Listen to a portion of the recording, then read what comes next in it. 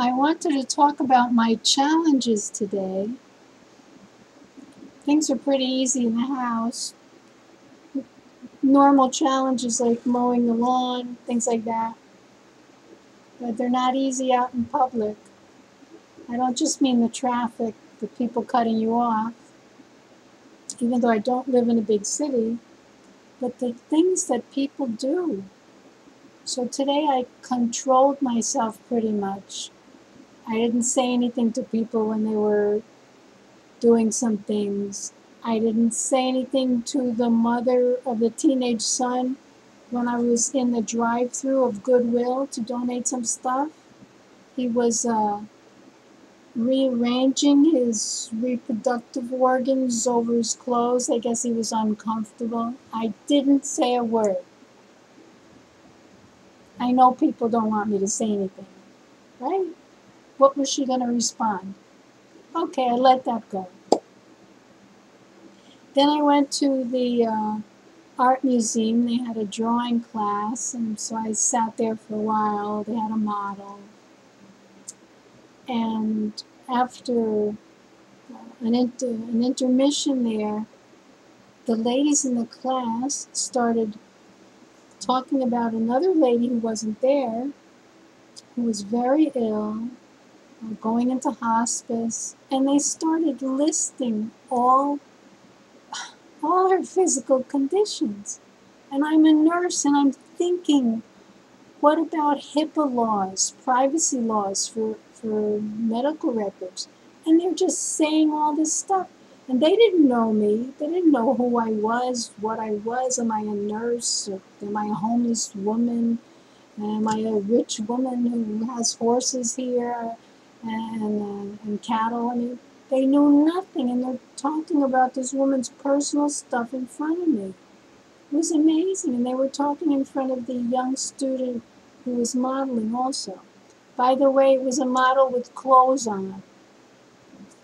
Okay, so then I needed to go to the bank and uh, talk to my banker, and I wanted to say something to her because I saw this um, this high caffeine drink on her desk, and I have a relative who's so addicted to those caffeine drinks that he can't even sit still and talk to you. You know, he's just. So I controlled myself in front of the Goodwill. I controlled myself at the art museum, but I couldn't do control myself again.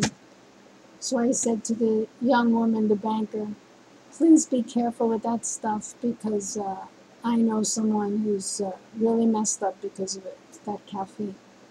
She said, yeah, her child's sick and she's been losing sleep and she doesn't have it too often.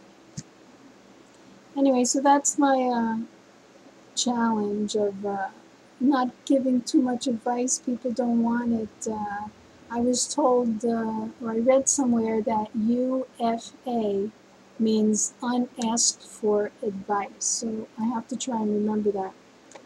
Now, these these are little problems with you know how the public behaves, and I have no problem with enormous problems. I have no problem with uh, people getting into a fight in the street, and somebody has a gun, and somebody wants to call the police, and and you know the person looks like maybe they're schizophrenic or maybe they're going to commit a crime, I have no problem. I get right in there and, and I talk in a motherly way to them. And so far, all these years, it's worked out. People get distracted by the things I say to them, and I guess by the way I uh, dress and, and, and talk, and they just stop their, their anger and their whatever they're doing, their aggression. But it's these other simple things that I have a terrible time. So maybe I'm just one of those people that just gets really, really inspired by a big challenge and, and, and rises to the occasion.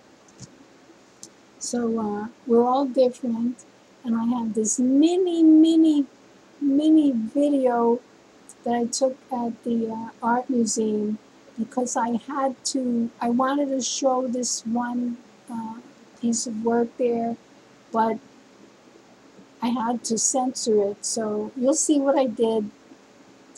I censored it the um, for the mini video. I think it's less than a minute. And uh, the art di- director helped me. She gave me the materials to do it, and she was amused, and that was very nice of her.